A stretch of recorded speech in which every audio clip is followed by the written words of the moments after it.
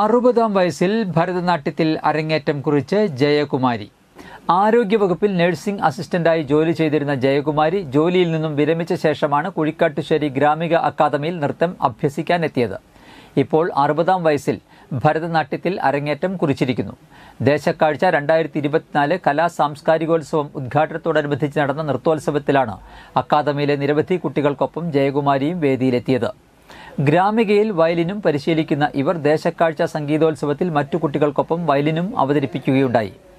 ഗ്രാമിക അക്കാദമിയിൽ അമ്മമാർക്കും മുതിർന്നവർക്കും നൃത്ത പരിശീലനത്തിനായി പ്രത്യേക ബാച്ചും നിലവിലുണ്ട്. ബാങ്ക് ജീവനക്കാരിയായ നൈസി തോമസും ഈ വർഷം ജയകുമാരിക്കൊപ്പം അരങ്ങേറ്റം നടത്തുകയുണ്ടായി. റിട്ടയർമെന്റിന് ശേഷം കലാപഠനത്തിനു പുറമെ അക്കാദമിക് രംഗത്തും സ്ഥിര പരിശ്രമത്തിലാണ് Jayakumari. S S L C മാത്രം പാസ്സായി സർക്കാർ ജോലിയിൽ പ്രവേശിച്ച ശേഷം സർവീസിലിരുന്ന് തിരുവനന്തപുരം യൂണിവേഴ്സിറ്റി കോളേജിൽ നിന്ന് ചരിത്രത്തിൽ ബിരുദം നേടി.